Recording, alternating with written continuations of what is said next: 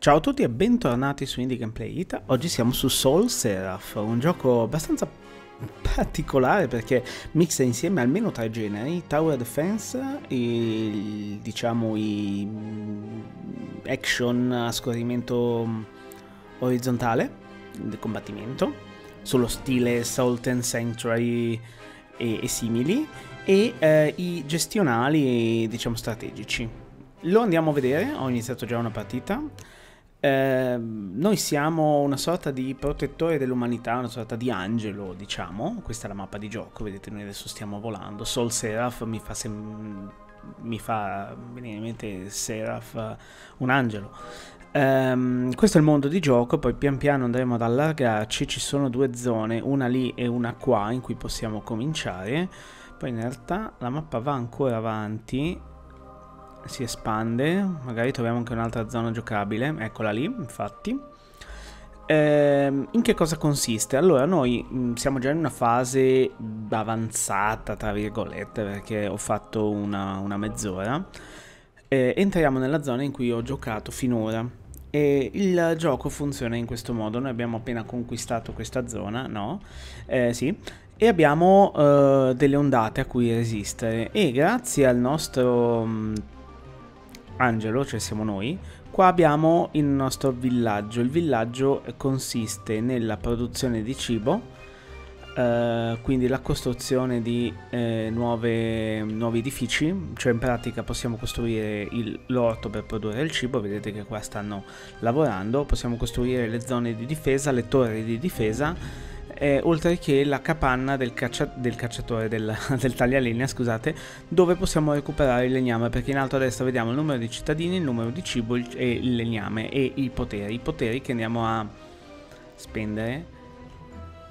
Uh, in alto a sinistra uh, vedete la vita nostra e l'energia nostra. In questo caso stanno avanzando dei nemici, ma qua non abbiamo nulla. Ma per mostrarvi esattamente in che cosa consiste il gioco io comincio una nuova partita così vi faccio vedere anche com'è l'inizio. C'è tutta l'introduzione in cui viene spiegato che gli dei creano il, il, mondo creano gli umani e gli dei poi si divertono a dargli fastidio.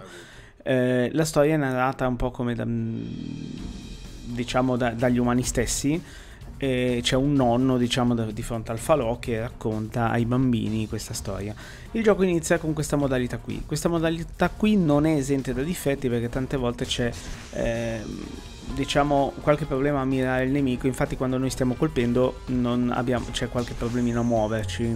Abbiamo qualche problemino a muoverci non mi vengono le parole. Col tasto destro spariamo le frecce che sono ovviamente limitate. In alto a destra in alto a sinistra scusate abbiamo la vita. Ogni colpo che riceviamo perdiamo un, un, un tassellino ne abbiamo già persi tre e questa è la fase diciamo shooter um, a scorrimento orizzontale eh, la stessa fase la affronteremo nel momento in cui raggiungeremo, eh, conquistando i territori, eh, uno spawner di ondate eh, malvagie. In quel caso il gioco inizierà con questa fase qui dove dovremo battere tutti i nemici e a quel punto eh, lo spawner di mostri sarà stato battuto. Eh, ho avuto non poche difficoltà perché non è, non è semplice, non è affatto semplice, però adesso ce l'abbiamo fatta. Oh, cacchio c'è il doppio salto ma ovviamente adesso ormai è, è persa la, la, zona. Si può andare anche sott'acqua perché vabbè adesso procediamo già sott'acqua perché so già che sopra non ci saranno non c'è niente è chiuso. E vedete la, la difficoltà sta proprio nel mirare quando stiamo colpendo perché non ci fa cambiare eh, bersaglio. Abbiamo solo due di vita, abbiamo anche una medusa gigante che ci sta inseguendo, quindi dobbiamo essere pronti, essere eh, girati nella posizione giusta per poter colpire. È un po' legnoso, niente che non si possa migliorare poi con qualche patch futura. Intanto io vado qua sotto perché devo recuperare la vita. Ok. Adesso poi andremo a vedere il tutorial iniziale cioè, graficamente non è neanche male. Questo è un save dove possiamo ripartire nel caso in cui dovessimo morire, cosa che accadrà a breve. Tanto i mostri stanno arrivando. Questo, benché io non ami i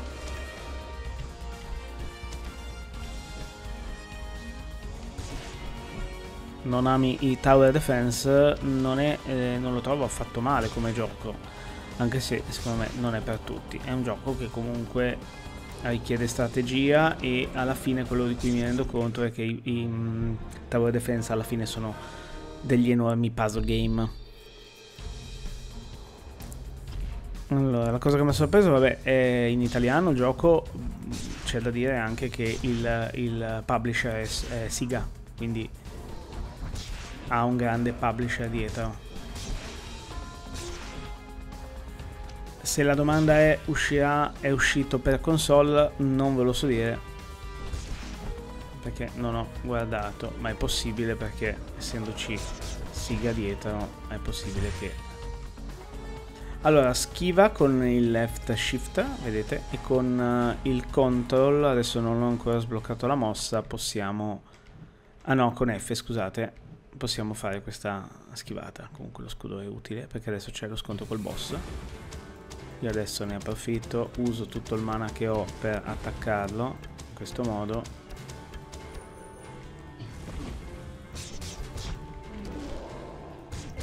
Non è neanche fortissimo infatti l'ho battuto ho guadagnato più uno salute.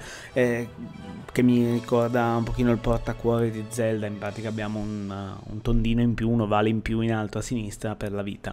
A questo punto inizia il gioco eh, in pratica abbiamo la, la zona iniziale eh, allora ci si muove.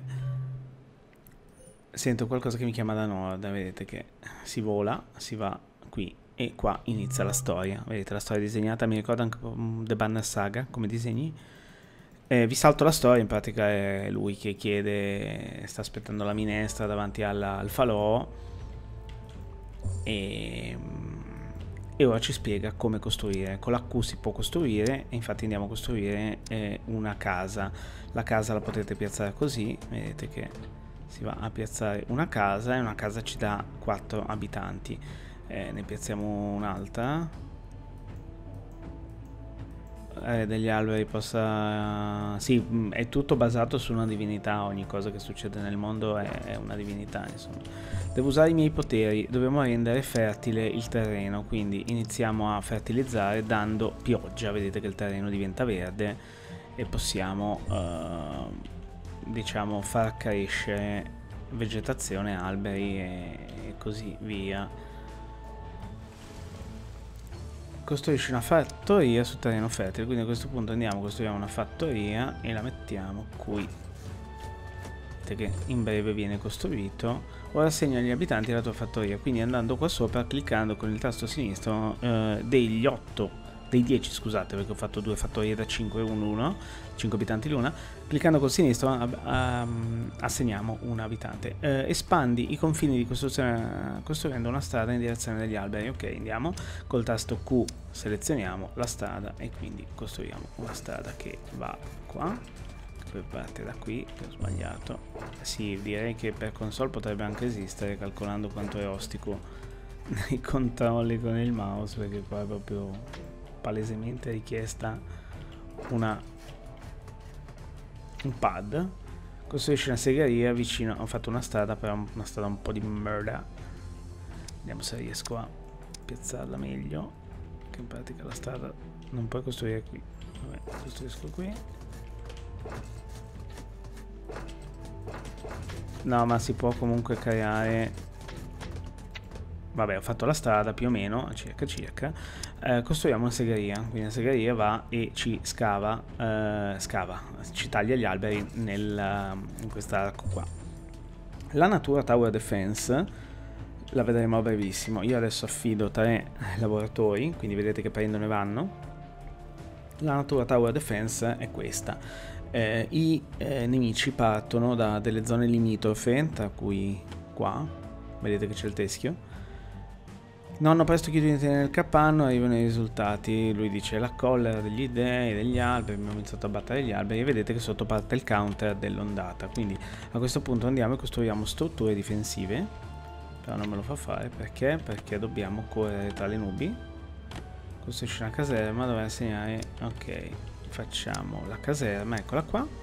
La caserma è importante, il gioco non ci spiega chiaramente come dobbiamo fare, ma poi lo apprendiamo, la mettiamo qui, ci assegniamo degli abitanti, eh, 3, e questi difenderanno tutti quelli che entreranno in questa zona. I mostri tendenzialmente seguono la strada, quindi siamo protetti. Eh, ne facciamo magari un'altra perché il loro scopo è venire a distruggere il eh, falò, quindi no, non possiamo farne altre, quindi dobbiamo per forza iniziare l'ondata.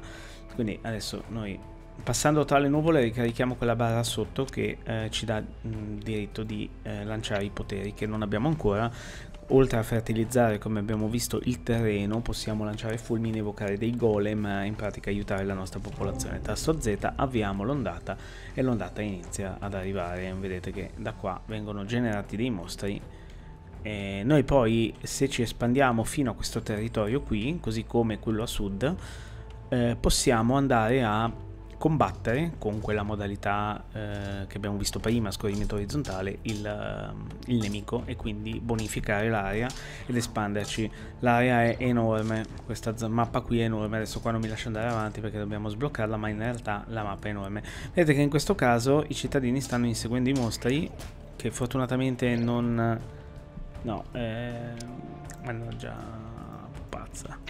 Eh sì, loro non fanno più nulla adesso, loro stanno attaccando, fortunatamente uccidendo, colpendo diciamo il cuore, che ha una vita abbastanza ridotta all'inizio, eh, si dissolvono. Devi costruire le torri degli arcieri per attaccare i nemici volanti, assegna la torre, ok, facciamo la torre, a breve poi il gioco ci darà eh, libertà piena di eh, costruzione.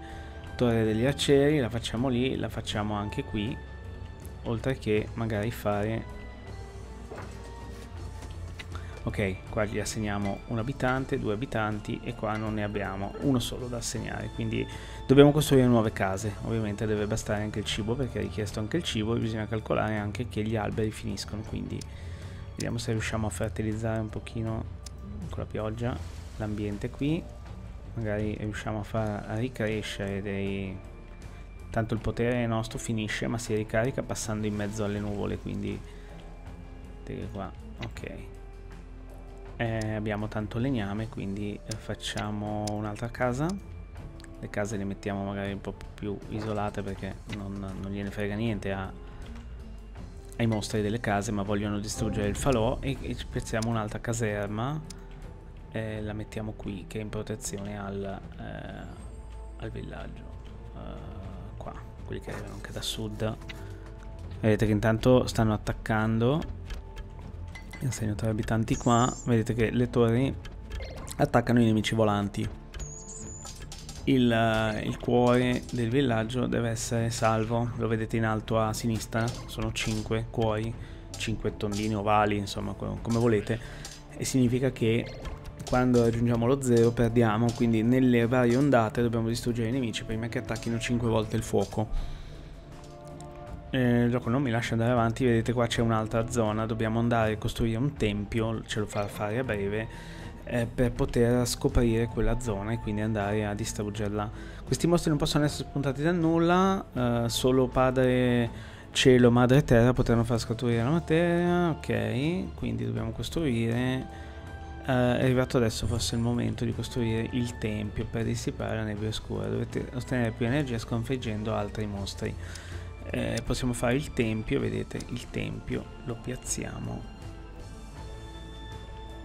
Non me lo fa piazzare perché è vicino alle nubi oscure sì infatti dobbiamo metterlo qui ma non me lo fa fare perché ovviamente i confini cittadini eh, devono essere ehm, vicini. Quindi facciamo una cosa piazziamo oh mannaggia questo fa per far passare il tempo sbagliato strutture difensive una è vicino al villaggio qua ok. E adesso facciamo anche una casa. Strutture base facciamo una casa la mettiamo qui. No non me la fa fare. Qua. E gli assegniamo tre cittadini. Penso che forse con la strada si possa espandere il terreno. Ok infatti me la fa fare fino qui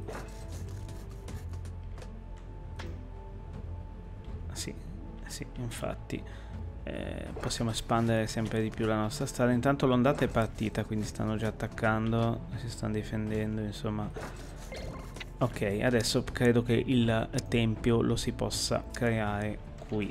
Infatti, credo che qua me lo lasci fare. Ok, fatto il tempio, gli assegniamo un cittadino. E a questo punto dissiperemo le nubi. Intanto qua il combattimento non... Eh, ci hanno attaccato. Questi qua non li attaccano fino a quando non arrivano a portata, quindi rimangono lì di spalle, come ogni tower defense, è tutto automatizzato. Non gli facciamo nulla però vabbè abbiamo vinto credo non dovrebbe arrivare nient'altro. Il popolo di questa terra ha affrontato l'oscurità nebbia si è diradata vedete tutto raccontato così. Mostri arrivano da, da, sud quindi dobbiamo prepararci. Poi ovviamente possiamo andare qua e attaccare l'antro cliccandoci e andando ad affrontare eh, il nemico. Non è che io ricordi eccessivamente difficile questo mondo perché è solo questa, questa zona qua. Eh, sì, eh, io mh, mm, dovessi fare una critica al sistema questo. Questo modo di gioco qui è veramente ostico mirare, si impara ovviamente però eh, si poteva sicuramente fare di più eh, è più studiato per il pad quindi credo che eh, sia proprio un difetto il fatto che sto giocando con la tastiera e non, è, eh, non si presta proprio per nulla per essere giocato con la, con la, tastiera. Abbiamo vinto, abbiamo aumentato anche il mana massimo e abbiamo battuto il eh, punto qui di, di spawn dei mostri. Quindi a questo punto qui non spawnerà più mostri, ma i mostri arriveranno da molto più lontano. Ci sono altri tutto intorno, inoltre ne distruggerai uno, l'area degli alberi si indebolirà sempre di più. Trovali e distruggili tutti, ok, ne abbiamo già No, genererà comunque sempre mostri, però pian piano dovremo avvicinarci alle varie zone, fare i vari templi. No, non sta pensando alla zuppa. Eh, ci avvicineremo sempre di più e vinceremo alla fine distruggendo tutto e demolendo diciamo l'area degli alberi.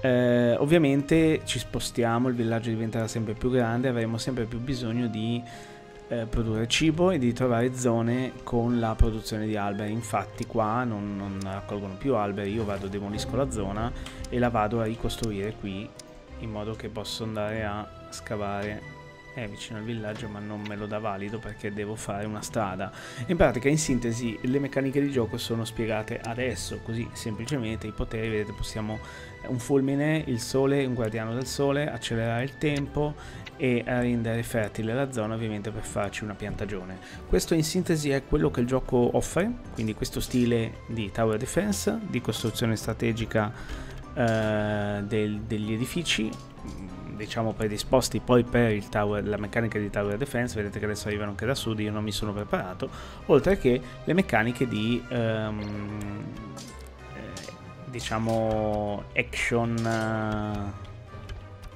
a piattaforme, platform, ecco il termine giusto è platform, per sconfiggere i, i, vari luoghi. Ovviamente poi con l'ESC no, non possiamo ancora uscire, lo potremo fare più avanti perché poi potremo uscire dalla mappa principale come abbiamo visto prima e battere e, e spostarci in altre zone, magari iniziare varie partite da vari punti della mappa per poi ricongiungerci una volta che l'avremo conquistato. Non è sicuramente un gioco per tutti, un gioco fatto bene che deve essere sicuramente rifinito nelle meccaniche platform ma è discretamente originale e graficamente carino, quindi in pratica che se siete appassionati di Tower Defense, vi, vi piacciono, vi rilassano, Plant vs Zombie è stato il vostro gioco preferito per anni, avete voglia anche di un combattimento platform uh, da padroneggiare, eh, Soul Seraph può essere il gioco che fa per voi. Ovviamente non mancate come al solito di lasciarmi un commento qua sotto, un parere, un consiglio e alla prossima ragazzi. Ciao ciao!